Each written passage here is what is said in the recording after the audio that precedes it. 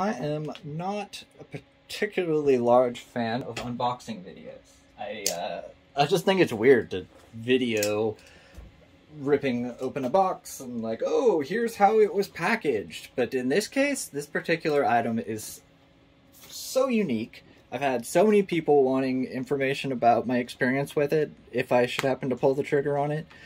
And I did. I finally did. Um, if you know what this is, then you know. If you don't, you're about to find out.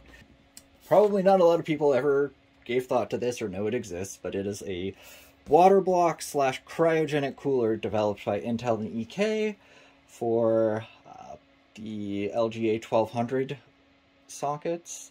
And it functions like a normal water block, as you can see, with uh, plugs and whatnot, but it also has a cooler.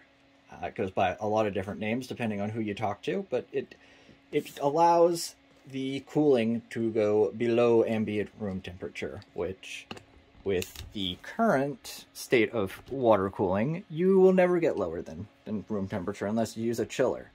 This does that without having uh, condensation, most importantly. Because if you had a bunch of condensation on your, your cooler, you would get your chip wet, which isn't a good thing. So, enough talking, let's open her up.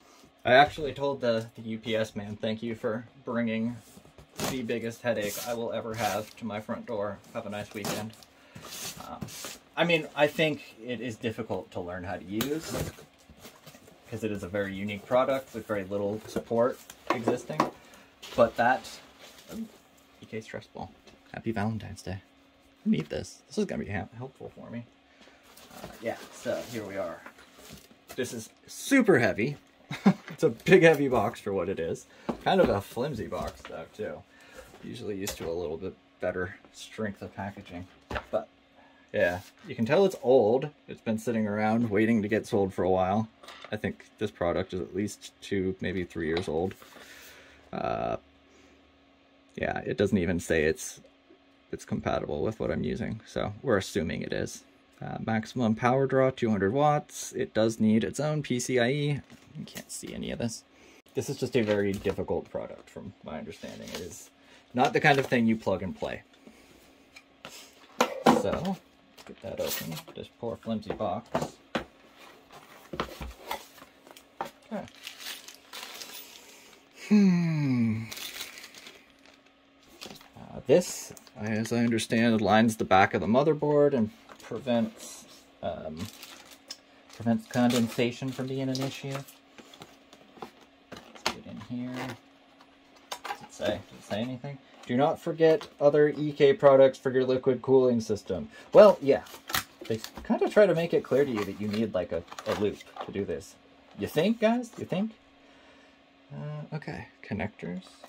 So this is the Intel Delta TEC, not the Delta TEC Evo the Delta TEC Evo, uh, they realized they wanted to have the the block here attached ahead of time.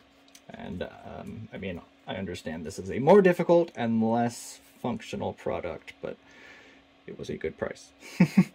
so uh, I know this needs to make a seal, so that's what all this is about. And here's the copper block. Uh, this obviously hasn't been used, but it has, you know, the same two two plugs. Uh, they do not line up at all like like they would with the... Oh my god, this is going to be so big in the case. Anyway, so we'll pull this out.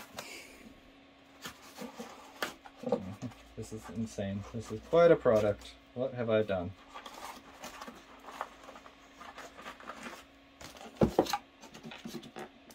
Alright. Obviously, just your basic USB um, I heard this is annoying, so I'm going to probably end up using an angled one. I have several of those. Ah, there's the magical part. I know that it mounts on there, somewhat like that. This is going to look so weird in here, which is fine. This is just weird. Just weird. I'm excited. Excited and scared. You know what there appears to not be in here? Instructions. I know they're online, but still. Come on, guys. You could have, like, printed them out for me. So, yeah. No instructions, just the box. There's the products. Um, yeah. Don't know what else to say. This is exciting, but crazy. Feel like I need an adult in the room to help me supervise like doing this. I'll probably print out the directions.